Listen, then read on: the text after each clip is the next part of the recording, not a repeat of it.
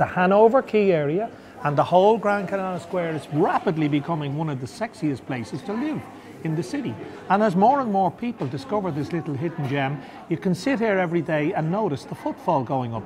This is my wife's cafe, and I've helped her do it because guys in the property business aren't that busy anymore. So I have plenty of time on my hands. This is a long term strategy. This is get rich slow. The get rich quick is over. This is get rich slow. So listen, no, I'm, I'm delighted. I'm a helper behind the scenes and I do a bit of stuff like this and I'm very happy that we are we have survived. It has been incredibly tough.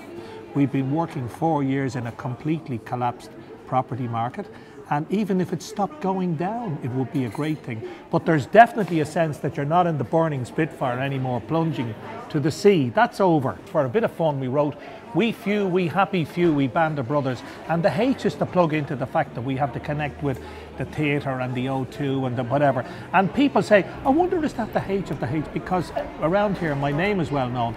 They don't know what I look like. They don't realise I've kept my looks to the extent I have. But they know my name, and it was, it was meant to plug into that. It's been a long, slow haul.